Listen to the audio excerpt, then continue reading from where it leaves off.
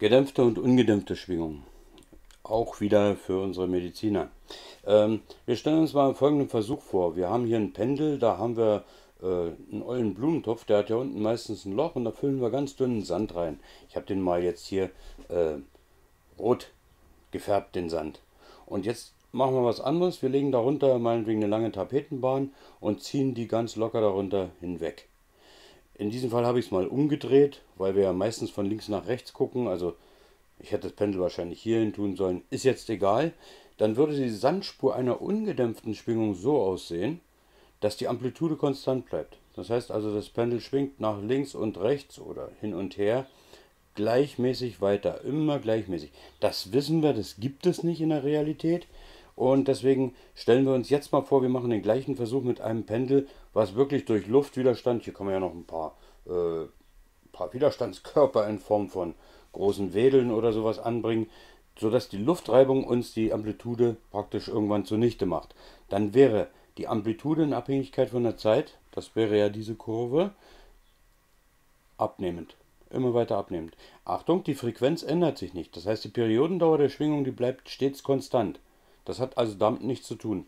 Lässt sich das mathematisch beschreiben? Klar, und zwar easy. Das wissen wir aus äh, den Sinusfunktionen. Das kennen wir alles schon. Notfalls, ich glaube, ich werde hier mal ein paar Links anbringen. Immer, immer hier drauf achten, das i. Da könnt ihr ruhig raufklicken. Das Video bleibt dann hier stehen und wartet auf euch. Ihr verpasst nichts.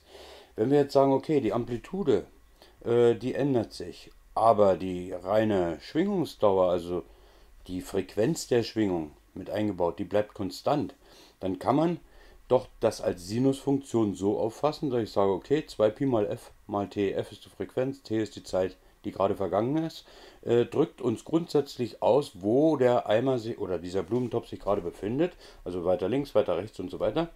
Und äh, stört euch nicht an diesem Winkel hier, Phi 0 beschreibt praktisch da, wo wir anfangen, den Sand hinzuschütten. Also ich könnte ja auch hier an der Stelle angefangen haben. Dann wäre nebenbei gesagt, die Periodendauer, ähm, wenn ich sage, ich fange hier an, ich habe also das Pendel ausgelenkt, dann ist eine komplette Periodendauer von hier bis, von hier, bis hier.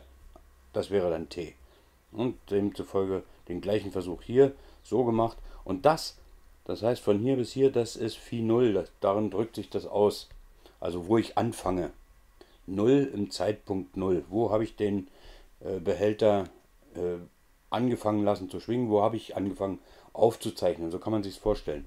Wie gesagt, da, das, da die Frequenz ja gleich bleibt, können wir sagen, dieser blaue Term, der bleibt bei der ungedämpften und der gedämpften Schwingung gleich.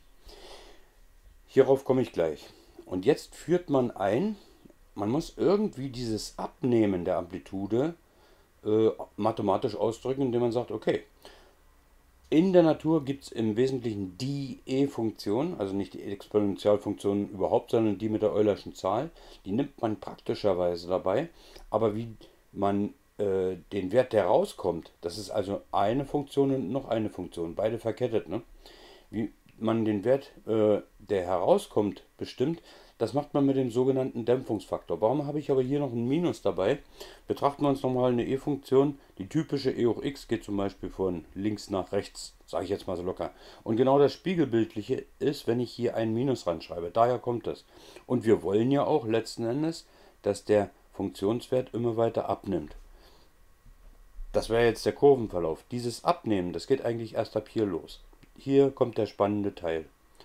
So, und diese Dämpfungskonstante, sagt man dazu, die kann man natürlich entsprechend einsetzen, je nachdem, wie doll wirklich das System gedämpft ist.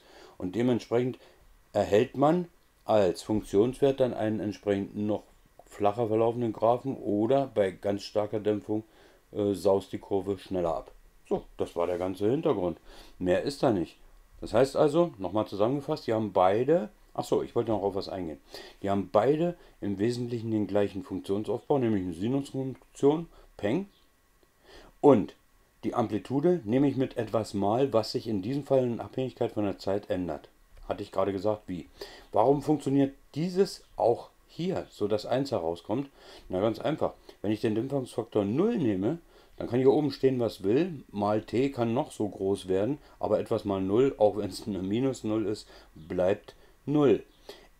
E hoch 0 heißt aber, ich lande grundsätzlich bei 1. Das heißt hier bei der ungedämpften Schwingung hm, würde stets dieser Graphenverlauf rauskommen. Ah, Achtung, das wäre aber schon mit dem äh, e hoch minus 0 mal t. Wäre also eine komplette Gerade. Ich hoffe, das hat zum Gesamtverständnis der gedämpften und ungedämpften Schwingungen beigetragen, auch mit der mathematischen Formulierbarkeit. Und ich wünsche euch was Schönes. Macht's gut, tschüss.